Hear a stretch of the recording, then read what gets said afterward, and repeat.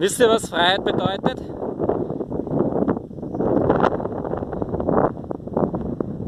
Das zu tun, was einem am meisten Spaß macht. An Orten und Plätzen.